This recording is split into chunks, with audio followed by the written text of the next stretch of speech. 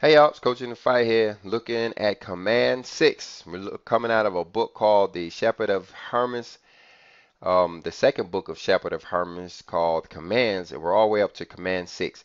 Now this one is talking about that every man has two angels, right? Every man has two angels and of the suggestions of both.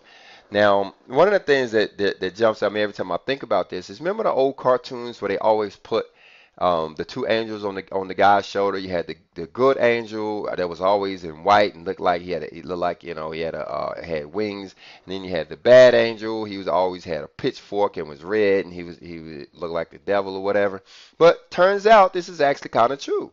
You know, it says we have two angels and we're on the, of the suggestions of both. So imagine these two angels on your shoulder as we go ahead. Let's look at. First of all, let's call on for a little help. Heavenly Father, we come to you today, Lord, asking that you would use all communication pathways so that we may understand these two angels that are with us and they can we can use um, we can even use them for our benefit. Your Lord, let us understand so that we can uh, practice and apply this into our lives. In your son's name we pray. Amen. And so be it. Command 1. I commanded thee, said he, in my first commandment, or my first commandments, that thou shouldest keep faith and fear and repentance. Right? Talking about he didn't not the first command, but the ones before the whole um, the anger. Remember we talked about anger in, in five. And it was kind of like a turning point because he, he made it clear that, you know, if we could, you know, do anger, if we could get that one right, if we could conquer anger, then we would, you know, have a chance of conquering the rest of these. So it's kind of like a, a mark there, kind of like a, a separation or a line of demarcation between the earlier commands and the latter commands, with, with anger being something to do with it in the middle there. But he said, even in the first ones, you know, he talked about faith and fear and repentance. Yes, sir, said I. He continued, but now I will show thee the virtues of these commands. Okay. Okay, so now we're going to see the virtues of the command. Sound like we're not actually going to get another command, but the virtues of them. Well, let's go on.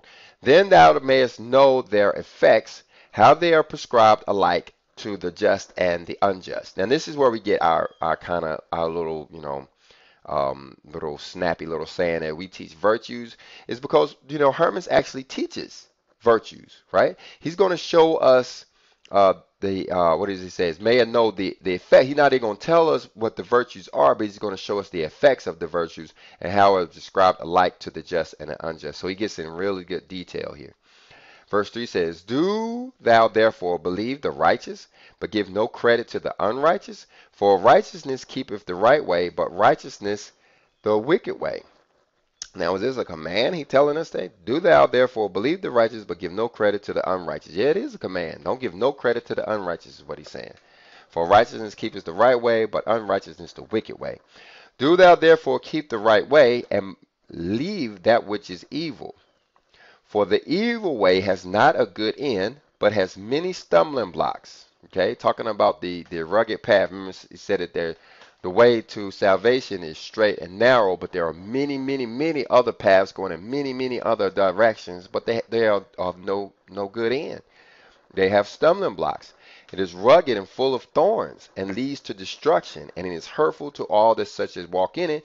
You look at anybody that's trying to find one of these other paths and look at all of the troubles that they're having in life. And we know that thorns has something to do with um, business or finances or, you know, that kind of thing. But you know, it's, it's, it's not a, it's not good to be in that way. Verse 5 says, But they who go in the right way walk in evenness and without offense, because it is not rough nor, thor- nor thorny. Okay, those that are on the straight and narrow path. Thou seest therefore how it is best to walk in this way. Thou shalt therefore go, says he, and all others, as many as believe in God with all their hearts, shall go through it. Okay, now believing in God, you know, that's that's that's a word that you know it needs more clarification because there's a lot of people who think they believe in God. Yeah, I did stop right there for you to think about the fact that I said think. There's a lot of people who think they believe in God, but they don't know who He is. You know, we we did a class up here, you know, um, taking the Lord's name in vain, but we don't know who uh, we don't know who who the Lord is. We did another class up called the Book of the Covenant. You know, we don't we don't really know who who the Lord is. You know, so so we have to, you know, you know, to say because the person believe in God that they got all of this. You need you need you need some more need some more study. At least, at least some more. You may have already gotten it already. I'm not challenging your spiritual walk, but I'm saying there's a lot of people, you know, saying I, I believe in God and, and they, they have no idea. They shall therefore go, says he, and all others, as many as believe in God with all their hearts, shall go through it. And now, says he, I understand first of all what belongs to faith. There are two angels with man, one of righteousness and the other of iniquity. So, what this is telling us is that, you know, we have two angels with us at all times. We have a good angel and we have a bad angel, and they're trying to they're trying to influence our lives, right? They're trying to have influence, just like the old cartoon where you know the devilish dude is, you know, he's all in the ear, and the other guy, that the, the guy with the the halo or whatever, he was like, hey, uh, you should be listening to me, not him. And I said unto him, Sir, how shall I know that there are two angels with man? Here says me and understand, because we can't see them. There's no way to know until you get the hermits. You have no uh, other than the little cartoons suggesting such. You have no way of knowing that such things really, really exist. Verse 9 says, The angel of righteousness is mild and modest, and gentle and quiet. Okay, so this is the angel of righteousness, mild, modest, gentle, and quiet. When therefore he gets into thy heart, okay, so he's going to come and try to get into thy heart, immediately he talks with thee of righteousness, of modesty, of chastity, and of bountifulness, forgiveness, charity, and piety. We always find ourselves in, in a good way especially us that do a lot of you know fussing and carrying on. You know, when the, when the angel of righteousness gets inside of our heart, we can feel it because we feel like being nice. We feel like being patient. You know what I'm saying? And, and, and, and you can actually notice something's going on there. For the ones who are not familiar with Hermas, you know, Command, you know, six, they may not know what's going on there. But I'm saying you do you do notice that you want to do something good. 10 says, When all of these things come into thy heart, know that the angel of righteousness is in thee. So when you feel like doing good, when you feel like doing something for somebody else, when you feel like, what does it say? When you feel modest, you know, when you feel chastity, when your bountifulness and forgiveness and charity and piety, when you feel those, you, it's the angel of righteousness. That's, that, that's no, it should be really easy, right, to understand that. Wherefore, hearken to this angel and, and to his work. So listen to him. When you feel this, when you feel that he is taking over, now you start listening. Now, now you start embracing him. Now you're like, hey, okay, well, I like this guy in here. Let's keep him in here. Let's look about the other guy. Learn also the works of the angel of iniquity. He is first of all bitter and angry and foolish, and his works are pernicious and overthrow the servants of God. Okay, so no, so see how he's opposite. He, he he's he, this guy is he's the bad guy. And when therefore these things come into the heart, when you start to feel this stuff in your heart, anger or bitterness or foolishness or perniciousness, and let's look up from perniciousness for people like me that don't know what it means. It means maliciousness or wickedness, evil, mal, mal, malevolent, I believe it is. Uh, malign, malign it. I don't know what none of these words mean. Anyway. Bad. Overthrow the service of God. When therefore these things come into thine heart, thou shalt know his works, that this is the angel of inequity. So when you start to feel this way, hey, you start need to start noticing, um, because you know, at going back to the last class we did on chapter five, how you know bitterness and anger, you know, they they can start to harm you. So we really have to be on guard. Says. Um, and I said unto him, Sir, how shall I understand these things? Here says he and understand. When anger overtakes thee, or bitterness, know that he is in thee. Remember how closely tied anger is to bitterness? So you have to look out for either one. But when you start feeling yourself being anger or bitter, know that he's in you. He's already there. He ain't taken over you yet, but he is there and he's trying. He's trying to take he, he just he just got to work his little magic, and he's got to work his magic, you know, do through anger and what folly, then bitterness, then what was the what was the other one? Um, uh, anger, then fury. You know, he has he is certain steps, but you know, and you have to play along with him. So if you can get ahead of him and stop it, you know, you, you can do just that. But You got to get ahead of him. 13. And also, when thou desire many things, okay, now here's some ones that, that may not be so so obvious. But when the desire of many things, right, when you want stuff and the best meets, yeah, all of a sudden, you know what I'm saying, you feel the need like you want you want something extra that you you know ain't really used to, you know, like like my wife holler out she want a hamburger or something. I'm starting to look at her, you know, I'm starting to look at these other stuff. Is she truly hungry and she getting a whiff of the McDonald's over there across the street? Or is, you know, the angle of inequity starting to take over? So I started to look for these other stuff, you know. Don't don't I won't just take that one. I need some other stuff to go by, like many things. You know, all of a sudden she she feels the nerve to get drunk or uh, you know, that, that's definitely it. My wife want to stop at a liquor store. Yeah, I know some spirit and took over and it's probably inequity.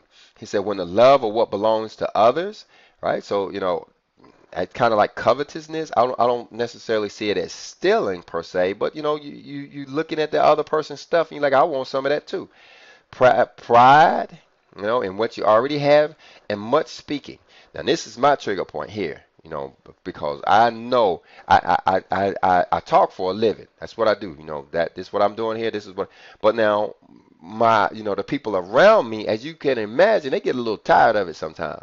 You know, they, they're, they, you know, it's constant. It's 24 hours a day. You know, I'm not putting on a show here. This is this is what I do. I speak about the Lord all day long. But then when I start to notice people around me and they start, you know, stop paying attention, they're looking for the opportunity to take care of other stuff and all of this, and I, I say, well, I might be talking too much. But then when I can't control it, guess what? When I, you know, I say, well, I need to shut up, but then I find myself five minutes later still talking. Hey, it's the angel. It's the angel of it's the angel of inequity. He's trying to get a hold of me, and I can see him in there. Much speaking and ambition, right? Now you, you start to see you, you you're not so satisfied with what you have now. You want to achieve more. You want to you start to become ambitious, and like these come upon you. So you really have to study these things and see how the how this what does ambition look like in your life. What does much speaking look like in your life? If you're an extremely quiet person, you know, one or two sentences might be a whole lot of speaking for you. So you have you have to apply, but then the reason why is so you can see this angel trying to take you over, because if he gets you, he's not going to do good things to you once he has you. Verse 14: When therefore these things arise in thy heart, know that the angel of iniquity is with thee. Right? So you look for him, and when you see him, you start to try to back him off. Seeing therefore thou know of his works, depart from them. Like I say, you start to try to back them off. Start to try to be quiet. Start to try to, you know, pray and meditate or find out what the problem is and get away from it or whatever. And give no credit to him. You don't want to give any credit to that bad angel. He's going to try to destroy you. That's his job. And he's very good at it. Because his works are evil and become not the servants of God. You know, he he's the guy that's working with the other dudes. You know, those ones who think it's you know more wise to be wicked, more wise to be evil, more wise to do dumb crap. Well, that's their best guy. An angel in inequity, he's the guy they look forward to. You know, they hate you know the angel of of righteousness because you know he tells them to be humble and meek, and they don't want nothing to do with that. 15 says, Here therefore thou has here therefore thou hast the works of both these angels. We always got the both we always got both of them. The question is which one are we going to allow to drive us?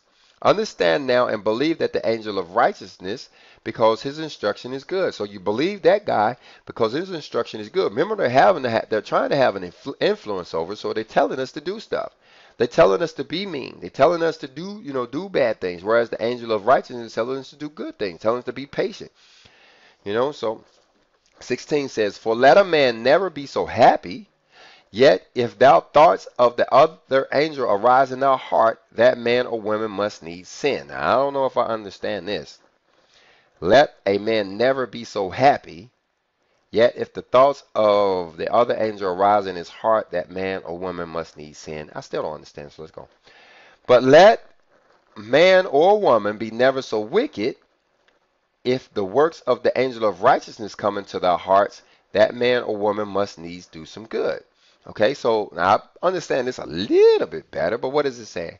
Let it let you be not so wicked that you know you can allow the angel of of um, of uh, righteousness take over every once in a while. That's what it sounds like. You know, don't don't be ever so wicked. But then what does the other one say then? Don't be so happy. Yet if that let a man be never so happy, yet if the thoughts of the other angel arise in their heart, that man or woman must needs be. I don't know. What is it saying? Be so happy as in you forget about everything and you like, um, you know, I could deal with the angel of inequity if he shows up, you know, because he's, he's going to make you sin, is really what he's going to do. I don't know if I understand it yet, but I'm going on. Verse 18. Thou seest therefore how it is good to follow the angel of righteousness. Now, in summary, we got these two things. They're going on daily. They're going on minute by minute, but which one do we follow? So we try to follow the angel of righteousness. Of righteousness. If therefore thou shalt follow him and submit to his works, thou shalt live unto God. Now here this word is again, live unto God. He's going to give some clarification on it, but I just want to want you to point it out because he, he uses it here as an unnecessary or unimportant phrase, but turns out it to be the big a big thing. What does it mean to live unto God? And it, as many as shall submit to his works shall live also unto God. Okay? All right, y'all. So we're moving along in this thing, talking about the two angels. Now we're up to um, command seven, which is not to fear the devil, and we'll be talking about that next. All right, y'all. Um, the two angels, Hermas Academy. Power, patience, continence, and faith. We teach virtue.